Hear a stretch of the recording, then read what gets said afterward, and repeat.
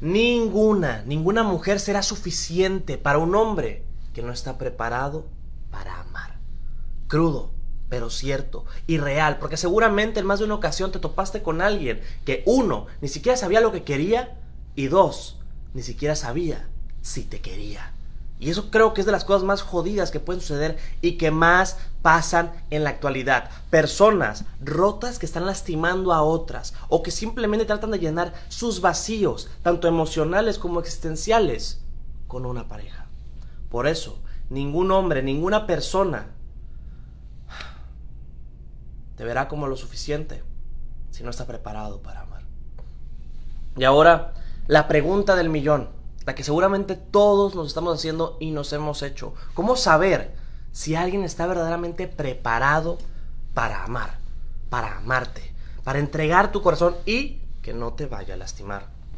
Primero quiero decirte que el riesgo es latente y siempre va a existir, porque la gente está en constante cambio. Es más, puede que haya estado en una relación en la cual pensabas que todo iba increíble, que era perfecto y de la nada no sabe lo que quiere o si te quiere no sabe para dónde va su vida, se le metió algo en la cabeza.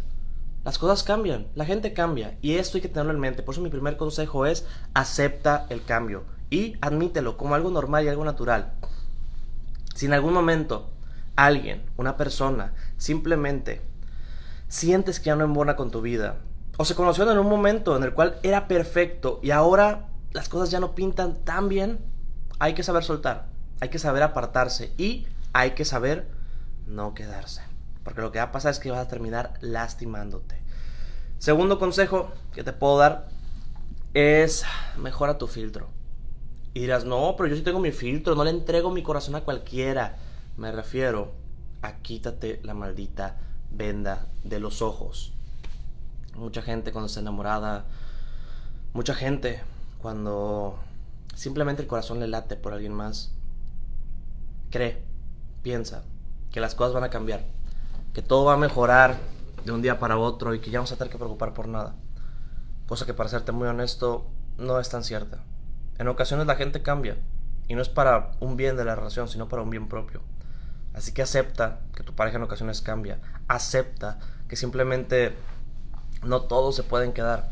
Y también, tercer consejo, si tú apenas estás conociendo a alguien y crees sientes que simplemente esa persona te tiene tambaleando o pendiendo de un hilo porque ni siquiera sabe lo que quiere o si te quiere o por X o por Y razón simplemente no está dando tu lugar, te estás entregando de más, apártate, quiérete y date cuenta que jamás será suficiente para alguien que no sabe lo que quiere.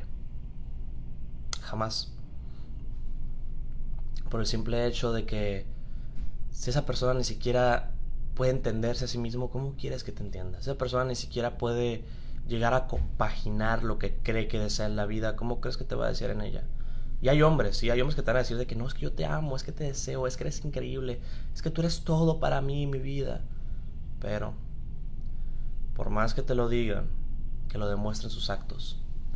Quédate con los actos de las personas, no nada más con las palabras. Porque cualquiera puede decir que te quiere o que te ama, pero no cualquiera se queda, no cualquiera te protege, no cualquiera está en las buenas y en las malas. Y ojo, no cualquiera es directo y dice las cosas como son. Porque los hombres son muy cobardes. Prefieren, ay no, es que sí te amo, no, todo bien mi amor, y en realidad ya no te aman como antes. No hay que seguir la relación porque simplemente no saben cómo cortarte, cómo alejarse. Da ese paso. Sepárate de lo que te lastima. Y de verdad, créeme, la vida va a cambiar un poquito más y para mejor. Les mando un fuerte beso familia, un abrazo. Soy tu buen amigo Carlos Rizzo. Grabé este video de volada, así, porque dije tengo que darle este mensaje a la gente. Eh, ahorita estoy a punto de tomar un vuelo.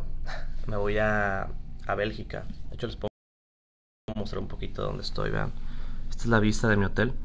Ahorita me encuentro en Cancún. Gran lugar, eh, muy bonito. Pero tomaremos un vuelo a Bélgica.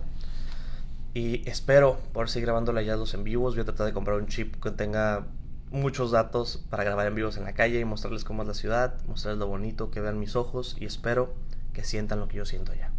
Cuídense mucho. Besos, abrazos. Hago la foto de portada.